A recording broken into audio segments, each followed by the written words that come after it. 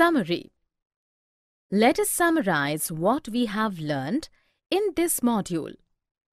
A stakeholder is a person associated with the business. The stakes of various stakeholders can be monetary or non-monetary. The stakes can be active or passive or can be direct or indirect. The payment and or incurrence of an outlay are made for a purpose other than the settlement of an existing liability is called expenditure. If the benefit of expenditure extends up to one accounting period, it is termed as revenue expenditure.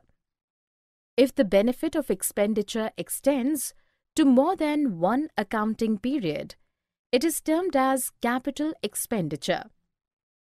The part of the expenditure which is perceived to have been used or consumed in the current year is termed as expense of the current year. The basic objectives of preparing financial statements are A. To present a true and fair view of the financial performance of the business. B. To present a true and fair view of the financial position of the business.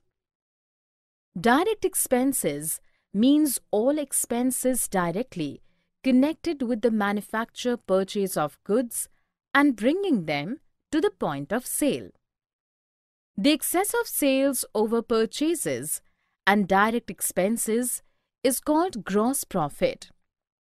If the total of the credit side of the profit and loss account is more than the total of the debit side, the difference is the net profit for the period of which it is being prepared. If the total of the debit side is more than the total of the credit side, the difference is the net loss incurred by the business firm.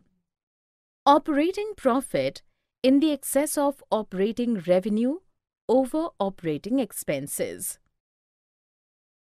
For more such videos on all subjects, practice questions and a lot more, download iPrep and learn unlimited.